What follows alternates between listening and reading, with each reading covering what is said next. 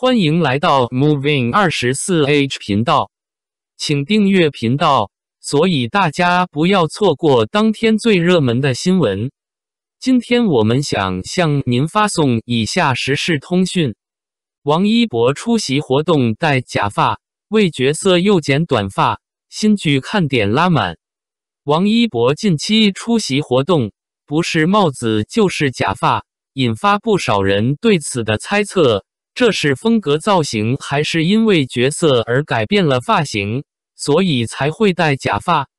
王一博进组人鱼后，新的角色很有挑战性，这次发型估计又剪短了。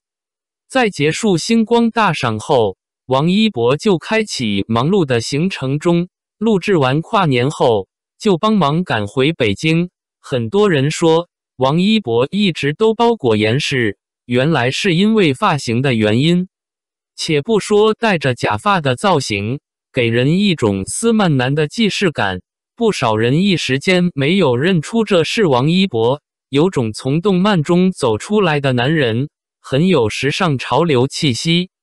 与此同时，如果不是因为在星光大赏中，沈腾说自己为了新造型才会戴帽子，我们也不会恍然大悟。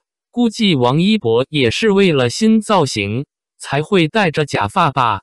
果然是无所不能的网友，这么快就猜到了，只能说八九不离十了。之前有人说王一博一直不进组，不知道这部电影《人鱼》到底拍没拍，就是感觉这段时间的他一直频繁出镜，才会引发这么多的猜测。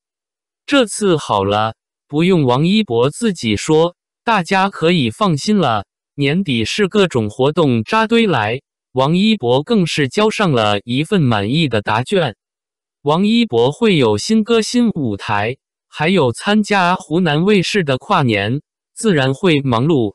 这一年，王一博转型电影圈的元年，三部作品，三种风格，口碑、票房、奖项大丰收的一年。年底各大平台都在邀请王一博。给予的奖项是年度电影演员，肯定和认可了王一博在这一年中在电影领域的成绩。外界纷纷扰扰，可是王一博从未在乎，吃百家饭的他，更是通过这几次的出席活动，一方面是回馈支持的人，在公开的场合见面，也是配合平台，给自己更多机会。三场晚会下来。王一博贡献了热度和话题，超额完成平台想要的曝光率，可谓是多方受益其中。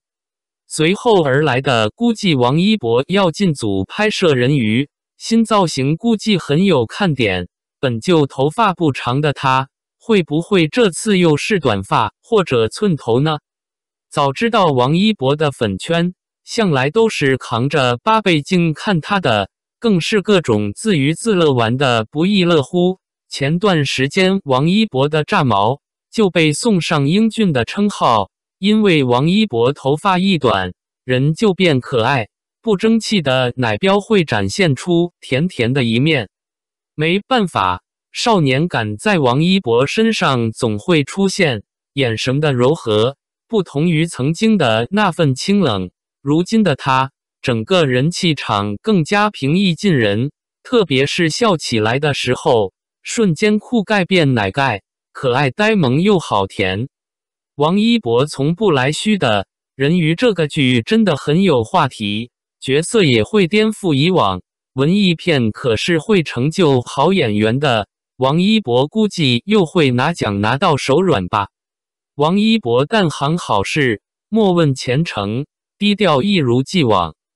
王一博向来如此，在大灾大难，在公益上从来都是低调的，很少会大张旗鼓、浓墨重彩做事，甚至都不会说出来。直到后来被人发现后，才知道。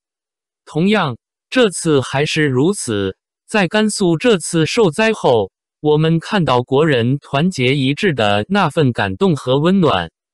感谢您观看视频。如果您觉得本时事通讯有用，请不要忘记点赞、评论和订阅。祝您生活愉快，充满活力！再见。